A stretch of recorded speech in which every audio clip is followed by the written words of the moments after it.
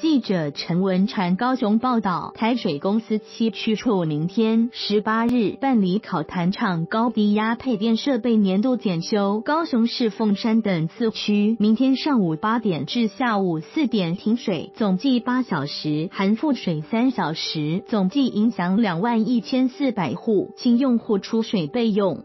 水公司说，停水区域是凤山区皮顶、凤东、承德、东门、称信、诚志、承正、镇东、过皮、承义、声明、中伦、中明、保安、中荣、国泰、国富、国光、国龙、新富、新泰、海丰、海光、中正、美林、瑞兴、新兴、三明、中校、正西、曹公、凤港、光明、三明、县衙、县口、成功、南兴、中义、中汉、协和。新中、新仁、汉兴、南兴、和德、新强、武庆、武汉、新月、新甲、新武、老爷、正义、善美、一甲、二甲、南城、富荣、富甲、龙城、正南、南和、天兴、大德、福兴、五福、福祥、福城等里及北门里铁路以南。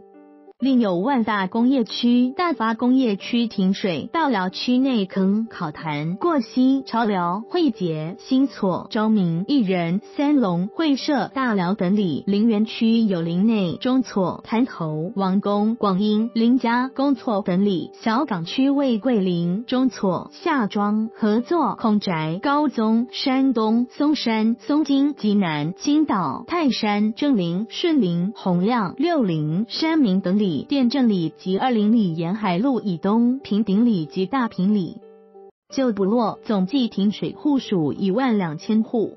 水公司指出，水压降低地区有凤山区文华、文福、文恒、文英、武松、镇北、文德、文山、中城等里及北门里铁路以北。小港区是平顶里及大平里新部落，总计影响户数九千四百户。水公司呼吁停水注意事项，请住户提早于停水前六小时完成储水，避免集中于开始停水前大量储水，造成管线末端用户无水可用。停水期间应关闭抽水机电源。马达若空转过久，会产生高温，致马达损坏或造成火灾。水公司说，刚恢复供水时，请将全部水阀打开排气，以利迅速恢复供水。管线末端或高地区用户，若因水压较低致延迟供水，仍无缺水时，可打免付费客服电话一千九百一十，高雄服务所三百三十一万两千两百九十二，凤山服务所七百四十二万四千一百六十三，将派专人到府服务。